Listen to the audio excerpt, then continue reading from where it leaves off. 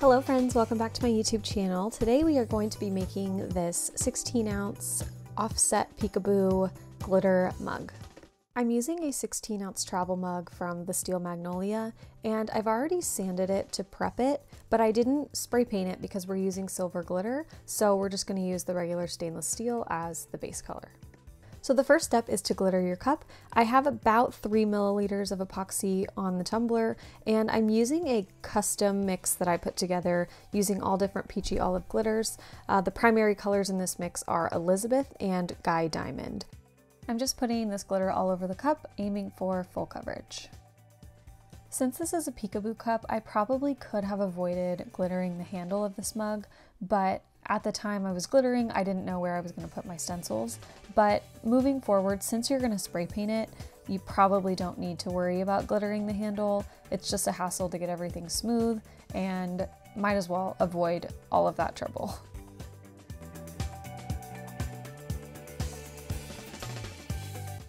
After that, I'm gonna go in with Super NES or Super NES, I don't know how to say it, from Peachy Olive Glitters. This is a super fine holographic glitter, so I wanna use it to cover any holes or fill in anything that still might be empty on this cup and make sure that we have complete full coverage.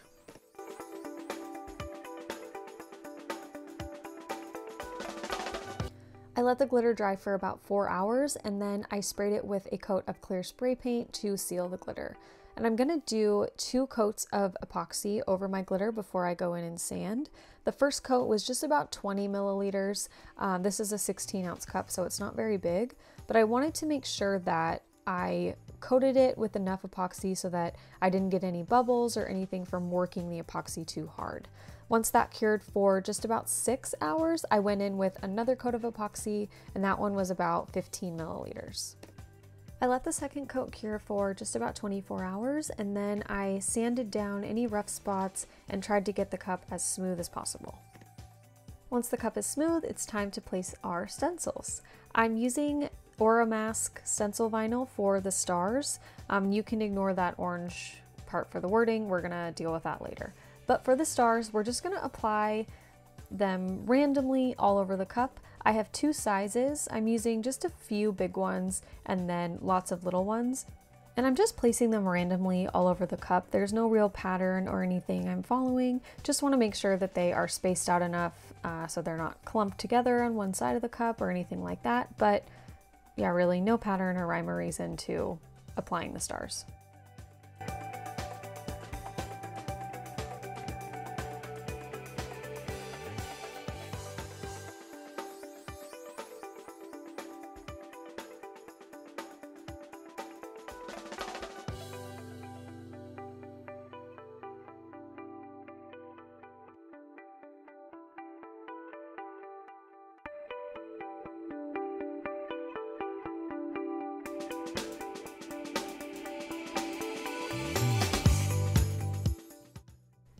So like I said earlier, I ended up taking off that orange vinyl and replacing it with a different stencil. I just kind of tweaked it a little bit. Um, once all of the stencils were placed, I spray painted the cup black. And once the paint was dry, I peeled off all of those decals and now we're going to seal our paint with some epoxy. This coat of epoxy is really just to add some sparkle and to seal the paint. So it's going to be really thin. I just have maybe like 7 to 10 milliliters of epoxy and I'm adding Brite, which is a multicolored glitter that I like to add to my epoxy all the time. Um, I put enough in so that when I spread it on the cup, it's really prominent. I wanted the black with the glitter to look kind of like the night sky, so I added a lot more glitter than I normally would um, just to get that effect.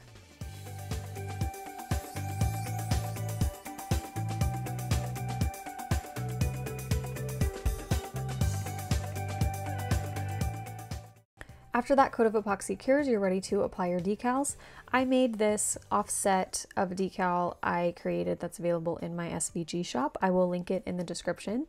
But what I'm gonna do is add the holographic outline first and then later after that's sealed go in with the black and put that on top. So it looks like I've layered the text but I'm kind of doing it backwards just because that's how it worked in my head.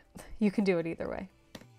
And as you can see in the video, I was going to use the parchment paper method to layer this on, but with the silver on the silver, it was really hard to see, so I ended up just eyeballing it, and it worked out pretty well. So whatever technique is easier for you to get this on, do that.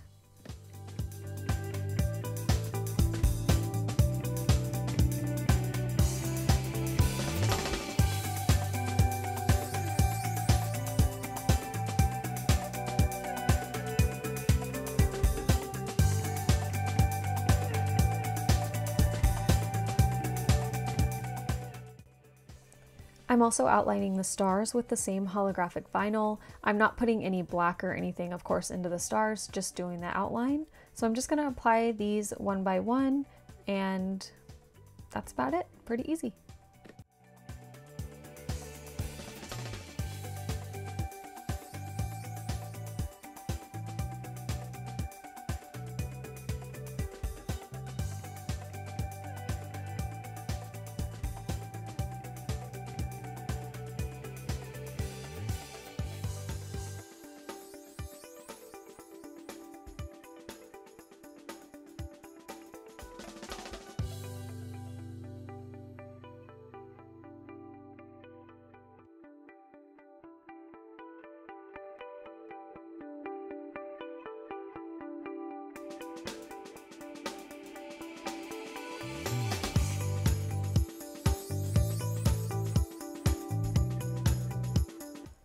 So here's what we have so far. We've applied all of our outlines and offsets in the holographic vinyl. So I'm gonna add a quick coat of epoxy just to seal all of this in, and then we're ready to add the black portion of our quote decal. Whenever I have a quote or anything like this that I'm applying with an offset to a cup, I like to cut it apart into pieces and apply kind of word by word or line by line. This makes it really easy to apply the letters exactly where I want them to go without having to fumble with a big piece of transfer tape or worry that every word is in the right spot. So I just go word by word, line by line, and that's what's easiest for me. If you like to apply the whole thing at one time, go for it, do whatever you are comfortable with.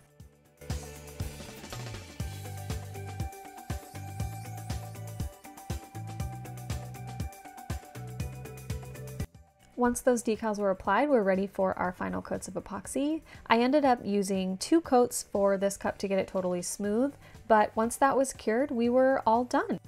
I really love how this turned out. I love how the glitter in the epoxy over the black mixed with the holographic vinyl gives off a really cool effect and there's so much dimension in this cup. I really love how it turned out. If you want to make the same cup and you like the design, I have both the stars and the quote with the offsets available in my SVG shop on Etsy. It is linked in the description box. Thank you so much for watching and we will see you in our next video. Bye!